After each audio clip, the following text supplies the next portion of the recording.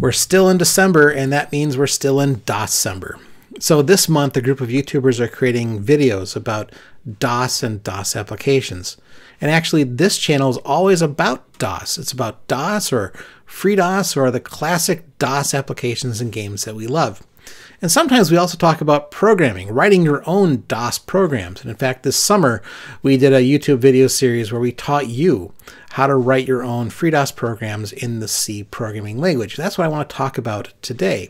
Because I also write for opensource.com, and a couple weeks ago, we started a uh, article series where you get to explore different programming languages by examining a simple game, a number guessing game, where the computer will pick a number, random number between 1 and 100, and you have to guess that number. And so I wanted to show you how to write that simple program in C on FreeDOS. Now, there's not really anything special about doing this on FreeDOS, but I do want to show you how to write it using the Open Watcom compiler.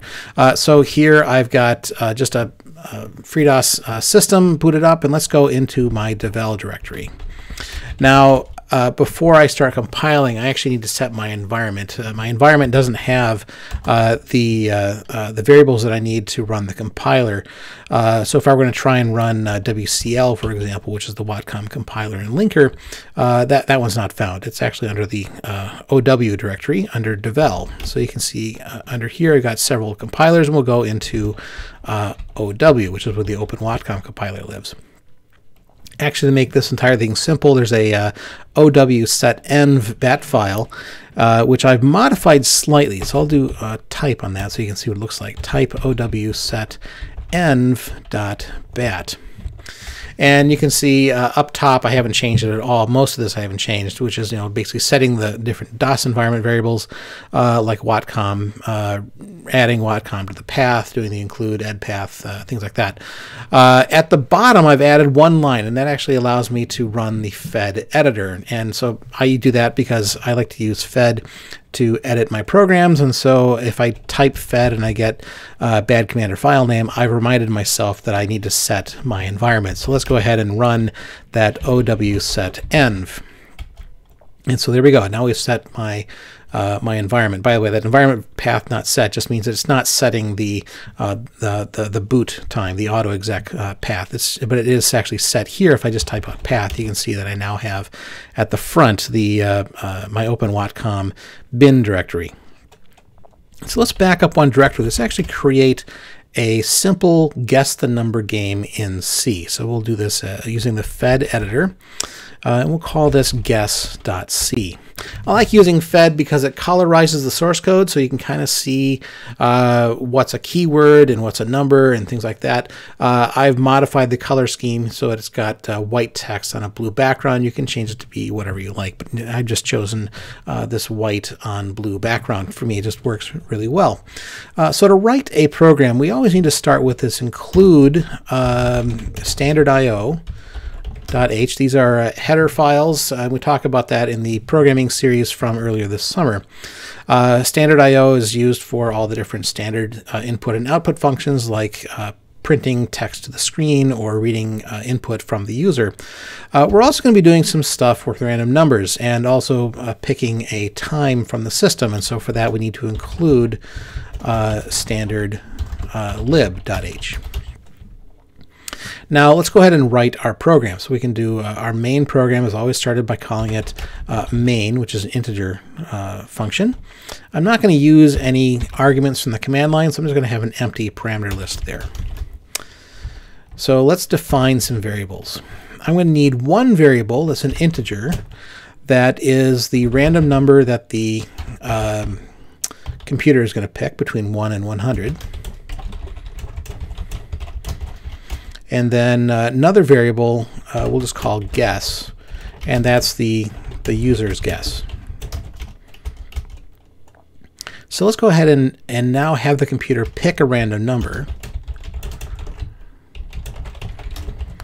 And we need to first uh, seed the random number generator because we could use the random number function as it is, but it's always going to be the same number. So we should always uh, apply a seed to the random number generator on DOS so that way it's picking a new random number every time. To do that, we're going to use the srand function. Now you need to give it a number. So you might give it a number like, I don't know, one, two, three, four. Uh, that will certainly seed the random number generator, but every time we run the program, it's going to always give it that number, one, two, three, four. So we actually want to have it pick a number from the system. Uh, FreeDOS doesn't actually have a system-based random number generator like Linux does, so instead we're going to seed the random number generator using uh, the system time. And we're going to do that using the time function. And if we pass the value uh, null, then it's not going to return anything back through the uh, argument list. Normally it's going to return a value back this way, but it's also going to return a value uh, through the function call itself. And so I don't, I don't need to have anything uh, in my parameter. So I'm just going to pass it null. And so now that's seeded my random number generator with the system time. And now I can pick a random number uh, using rand. And so I'm going to pick uh, rand num because that's the variable that's going to hold on to the random number. And um, I'm going to have a random number uh, rand times uh, 100 because uh, I'm sorry, mo uh, modulo 100. Sorry about that.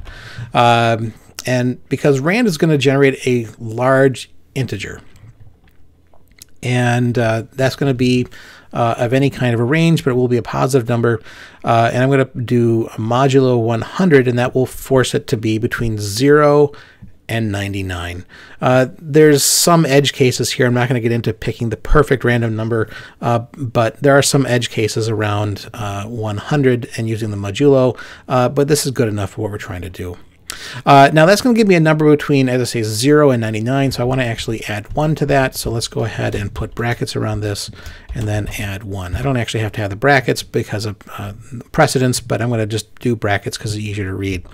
And so that way we know that it's going to be picking a random number, uh, and then it's going to uh, force that to be between 0 and 99. We're going to add 1 to it. And that gives me a random number between 0 and 100. And so let's have the user guess. Guess the random number. And so let's go ahead and print a prompt back to the user. So we'll say put s, pick a number between 1 and 100. So I'm going to enter a loop here while the user then picks a random number. Every time we go, the, go through the loop, the user is going to pick a number and then we're going to see if that's the right number or not. So we're going to do this. We want to make sure it goes to the loop at least once. And the best way to do that is with a do loop. And we'll do the while statement at the end. So we're going to do some stuff there. Uh, as long as while uh, the guess, which we haven't entered yet, but we're going to enter that in a second, while the guess is not equal to the random number that the computer picked. So the first thing we should probably do then is actually read a random number guess from the user. So let's go ahead and say uh, uh, scanf, and that's going to uh, scan a value from the user, and we're going to have a integer. So we'll do percent %d. That says make it an integer, uh, and then put it into. So we're going to use the ampersand and put it into the variable guess. Now, based on that, we can uh, give some input or give some feedback back to the user. So, um, so uh, uh, give give feedback. And so we could say uh, if the guess is less than the random number, then we're going to print the string too low. Otherwise, else if that guess is higher than, greater than the random number, then print the string too high. That's actually all I need to do because down here you see at the end of the loop, it's going to exit the loop if the guess is equal to the random number. So uh, right after that line, uh, anything that happens after this loop is actually because the guess was equal to the random number. So I can now print back to the user at the end of the, after the loop is done saying that's right. And in fact, that's all I'm going to do. I'm going to actually just exit back to the operating system. So I'm going to return zero. Zero uh, indicates when you're returning back to the operating system that everything was fine. If it was a number that was uh, one or greater, that usually indicates there's some sort of an error that happened. Uh, I'm just going to return zero. And so that's the end of my, my program. So before I compile it, let's real quick uh, remind ourselves what we're doing. So we got so obviously some include statements at the top. Uh, and then I'm starting my main function. I define two variables. Both of them are integers. And the first one is just the random number that the computer is going to use to store a random number. And then uh, another variable called guess, where we're going to read the user's guess of that random number. We're then going to have the computer pick a random number between 1 and 100. And then we're going to uh, print a prompt back to the user, and then we're going to enter this loop. And every time we do the loop, it's going to read a value from the user, and it's going to tell the user if that guess is too low or too high. It's going to exit the loop when the guess exactly matches the random number, and then it's going to print out that's right. So let's go ahead and exit. So we'll do bring up our menu with an Alt and then F to bring up the file menu and we'll do save and quit. So let's go ahead and compile that with the Watcom compiler and linker guess.c and we'll check to see if I made any errors. I'm not seeing anything. Well, it says no prototype found for function time. Looks like I uh, missed a function prototype there, but that's okay. I think it'll still compile. Uh, and then uh, we'll go ahead and run guess. So I don't know what the random number is because I didn't print that back out. So I just need to go ahead and pick a random number. We'll start in the middle. We'll say 50. Okay, that's too high. So we'll pick something uh, between uh, 1 and 50. We'll just pick 20 and that's too low. So I know it's between 20 and 50, so we'll pick uh, we'll pick 35, kind of in the middle. Okay, that's too high. Uh, we'll say uh, 27, which is kind of roughly between uh, 20 and 35, and that's too low. So I know it's between 27 and 35, so we'll just pick right in the middle and say 30. That's too low, so between 30 and 35, so we'll say 33. That's too low. 34 then has to be my number. There it is. And so that's a simple example of writing a guess the number program in C on DOS.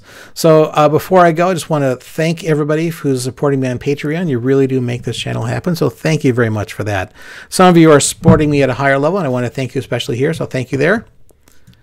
And before I go, join us on Facebook, follow us on Twitter, and consider supporting me on Patreon. Thank you.